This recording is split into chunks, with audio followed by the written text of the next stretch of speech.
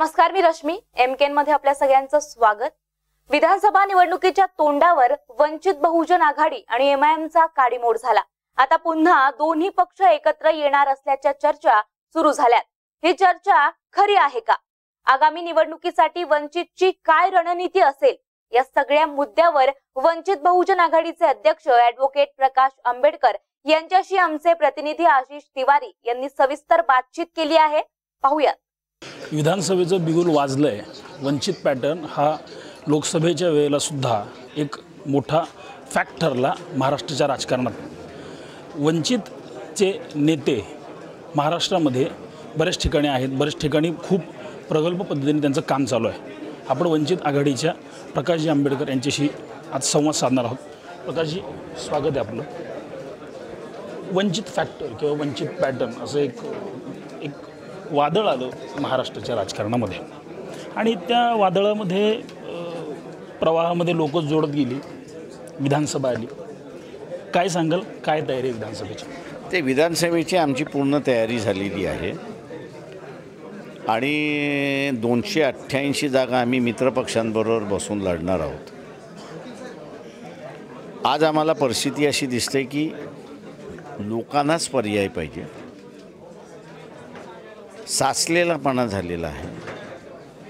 त्याच प्रश्नावरती झुजल्या जातं आणि म्हणून एका कार्यक्रमाच्या मार्फत आम्ही पर्याय म्हणून लोकांसमोर येत आहोत. ओल्या भागातलं पाणी दुष्काळी भागाकडे कसं घेऊन जाता येईल याचा आजच आम्ही आराखडा मांडला आहे आम्ही याच्या अगोदर मांडला नाही याचं कारण की हे सरकार पळवापळवीचं सरकार आहे. आणि म्हणून लोकांसमोर तो इशू योग्यरित्याने गेला पाहिजे म्हणून आचारसंहिता लागण्याचा आम्ही थांबलो होतो. आज झाला. आज आम्ही पाण्याचा प्रश्न मांडला आहे काही दिवसानंतर या देशामधल्या महाराष्ट्रामधल्या बेरोजगारी कशा रीतीने हे करता येईल त्याच्याबद्दल मांडतो आहे आणि नंतर मग आम्ही असणारा सारा या देशाच्या महाराष्ट्राची अर्थव्यवस्था ही कशी बदल करता येईल अनुब आमूलग्र बदल कसा करता येईल त्याचा आम्ही मांडू. वंचित विकासाच्या मुद्द्यावरती थोडक्यात ही निवडणूक लढवणार असं म्हणता येईल का? आम्ही प्रयत्न असा करतो आहे की जात धर्म हे अस्तित्वात आहेत लोक मानतात. त्याच्यावरती निवडणुका न लढता पुढच्या पाच वर्षामध्ये येणाऱ्या सरकारने काय करणार याचा आराखडा त्यांनी दिला पाहिजे आणि त्यावरती मतदान व्हावं अशी आमची अपेक्षा आहे. ती रेस आम्ही सुरुवात केली. परंतु आत्ताच्या सरकारने तर त्यांचा कामाचा दौरा केला महाजन जनादेश यात्रा केल्या लोकांना दाखवलं की आम्ही हे काम केलं ते काम केलं बऱ्याच गोष्टी त्यांनी लोकांपुढे मांडल्या. या सरकारला आव्हान आहे. एक काम त्यांनी दाखवावं की त्यांचं स्वतःचं आहे. मुख्यमंत्र्यांना माझं आव्हान आहे की त्यांनी एक त्यांचं डिस्टिंग काम आहे त्यांना पाच वर्ष सरकार चालवायला कोणी चालवू शकतं? जनसंधारणाची कामं चालली होती तुम्ही नाव बदललं. नवीन काय केलं आहे नवीन तुमचं काय क्रिएशन आहे का ते तुम्ही असं दाखवा. तुमची नवीन थिंकिंग प्रोसेस आहे का तुम्ही असं दाखवा. जसं काँग्रेस राष्ट्रवादी स्टॅग्नंट आहे त्याच पद्धतीने बी जे पीसुद्धा इथली स्टॅग्नंट आहे असं दिसतंय. तेव्हा नव्यानं काहीच नाही आहे आम्ही असणारं टोटल पॅरेडियम इथला असणारं चेंज करायला निघालेलो आहोत. आणि तो पॅरेडियमचा एक आकडा एक आम्ही मांडला या ठिकाणी. एकंदरीत ह्या येणाऱ्या विधानसभा निवडणुकीमध्ये एम आय एमचा मुद्दा असेल एम आय एमची तुमची युती जो काही बा बाकीचे मुद्दे जे आहेत आता ते सध्या बरेच चर्चेचे आहेत. एकंदरीत वंचित किती जागा लढवेल आणि काय एक साधारणपणे काय रणनीती काय राहील विधानसभेची? मी म्हटलं मित्रपक्षांबरोबर आम्ही दोनशे अठ्ठ्याऐंशीच्या दोनशे अठ्ठ्याऐंशी जागा लढवणार. आणि जो कार्यक्रम आमचा हा कार्यक्रमच मतदारापर्यंत घेऊन जाणं आणि तो प्रचार आणि प्रसार करणं आणि लोकांना कार्यक्रमावरतीच मतदान करायला लावणं हा आमचा एक कार्यक्रम आहे. तीनशे सत्तरचा मुद्दा आपण या इलेक्शनमध्ये घेणार आहात का? नाही नाही तीनशे सत्तरच्या मुद्द्याचं विश्लेषण आम्ही करणार आहोत. तीनशे सत्तर रद्द का केला असं बी जे पीने सांगितलं? तर आपल्याला तिथे जमिनी विकत घेता येत नव्हत्या आणि म्हणून तीनशे सत्तर आम्ही रद्द केलं. आम्ही म्हणतो चांगलं केलं. आणि मग आम्ही असणाऱ्या शेतकऱ्याला विच विचारणार विचारतो आणि त्याला त्याचा परिणाम सांगतो की आज शेतकऱ्याची जमीन शेतकऱ्याकडं का राहिली? तर शेतकऱ्याची जमीन शेतकऱ्याकडं राहिली याचं कारण की शेतकऱ्याची जमीन विकत घ्यायची असेल तर तो शेतकरीच असला पाहिजे. तो शेतकरी नसेल तर त्याची शेतकऱ्याची जमीन विकत घेता येत नाही. महाराष्ट्राला अमिताभ बच्चन यांची केस माहिती आहे. की ते गैर शेतकरी आहेत. शेतकऱ्याची जमीन विकत घेतली. त्यांना जमीन पुन्हा परत करावी लागली. सरकारने त्या मालकाला दिली. आता तीनशे सत्तरमधली जर जमीन सगळ्यांना घेता येत असेल तर शेतकऱ्याने पहिल्यांदा ठरवलं पाहिजे की शेती आहे म्हणून मान आहे. शेती आहे म्हणून सन्मान आहे. शेती आहे म्हणून स्वतःच्या उपजीविकेचं साधनं आहे. आता तीनशे सत्तर जसं म्हणतं की कोणी येऊन रद्द केल्यामुळे कोणी येऊन जमिनी खरी करू करे तर शेतकऱ्याने पहिल्यांदा बी जे पीला मतदान करण्याच्या अगोदर आपली जमीन गेली तरी चालेल हा निर्णय केला पाहिजे. आणि मग मतदान केला तर समजू शकतो. आपली जमीन आपल्याकडेच राहिली पाहिजे असं जर वाटत असेल तर वंचित बहुजन आघाडी हाच त्याला पर्याय आहे दुसरा नाही. व्यापाऱ्यांसाठी फक्त झालं आहे का? तीनशे सत्तरचे कलम आत्ता काढण्यात आलं किंवा जमिनीचे जे काही मुद्दे तिथं अडचणीचे मुद्दे होते काश्मीरमध्ये. आता शेतकऱ्यांचं हे सगळं व्यापाऱ्यांसाठी झालं आहे का? हे सगळं व्यापाऱ्यांसाठी आणि इंडस्ट्रियलिस्टसाठी झाले दुसरं कोणासाठी झालेलं नाही. पण त्याच्यातनं काश्मीरचा फायदा होईल ना तिथल्या स्थानिक नागरिकांना? होणार नाही आहे तुम्हाला कोणी थांबवलं होतं? मा माझं म्हणणं असं आहे की पाच वर्ष B J P मेहबू Mehbooba Mufti यांच्याबरोबर सरकारमध्ये तुम्ही काय विकास केला? तुम्हाला कोणती मुफ्तीनी काय थांब मेहबूबा मुफ्तीनी तुम्हाला काय थांबवलं हे तर सांगा. पाच वर्ष सरकेमध्ये राहता. टी व्हीचं माध्यम आहे प्रिंट माध्यम आहे म्हणून वाटेल ते तुम्ही बोलाल. ग्रामीण भागातला विचारतो ना. की हे पाच वर्ष सरकारमध्ये होतं काय केलं? यानं कोणी थांबवलं तिथला विकास करण्यापासून? हा ग हा ग्रामीण भागातला माणूस विचारतो आहे ना.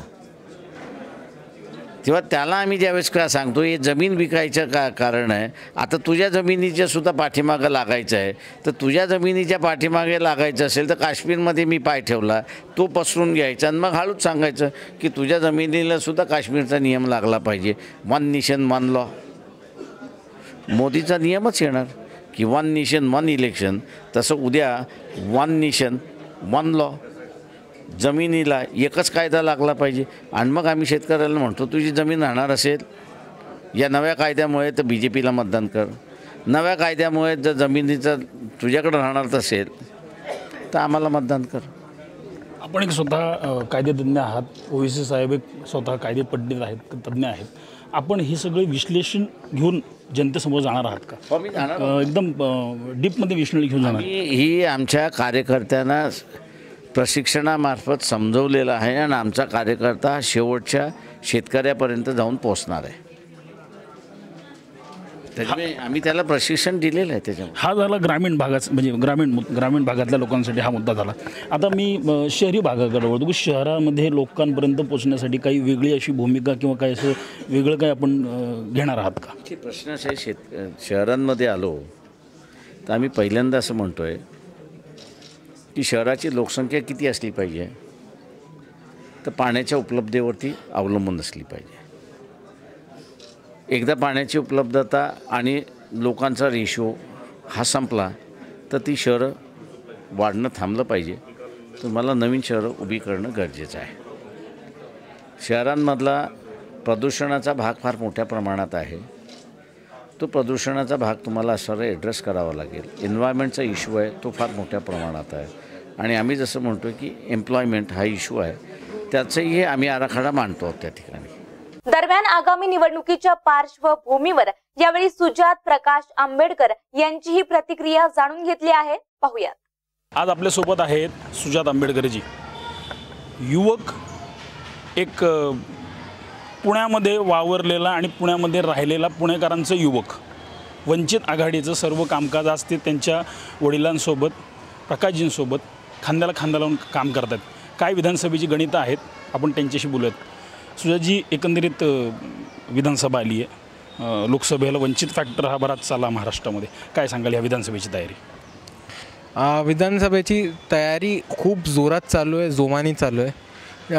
आज अण्णाराव पाटील यांच्या नेतृत्वाखाली महाराष्ट्रभर सत्ता संपादन निर्धार यात्रा झाली. त्याला खूप मोठ्या जोराने प्रतिसाद मिळाला. बाळासाहेबांचे हे टार्गेट फोकस्ड राहून समाजांशी जोडणं आणि काही समाजांचे प्रतिनिधित्व उभे करताना त्या समाजाला स्टँड देऊन एक आघाडी सोशल इंजिनिअरिंग करणं.